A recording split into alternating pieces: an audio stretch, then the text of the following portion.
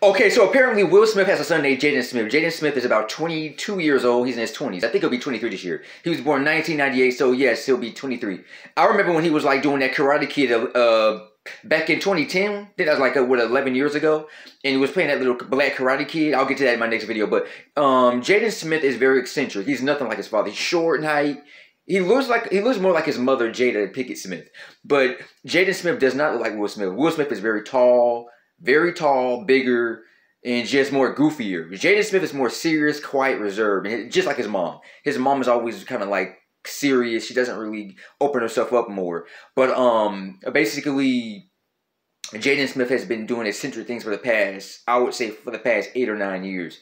I would say since 2012, 2013, he's been doing some weird stuff. He's been rapping, doing trying to do rapping. He sucks at rapping.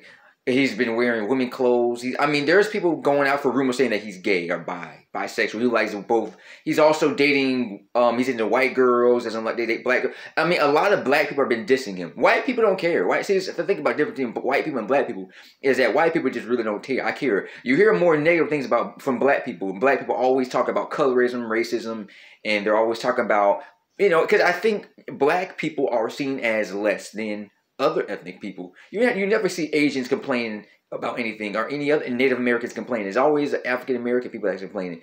And, and and and we didn't even suffer the abuse as worse as Jews or Native Americans, you know. But anyway, but as as far as I know, Jaden Pickett, I mean, Jaden Smith has been is wearing women's clothes. He says, he says something that's different. He's never felt comfortable wearing male clothes. That he feels more free and relaxed and can think better when he's wearing female female clothes. I said that's kind of weird.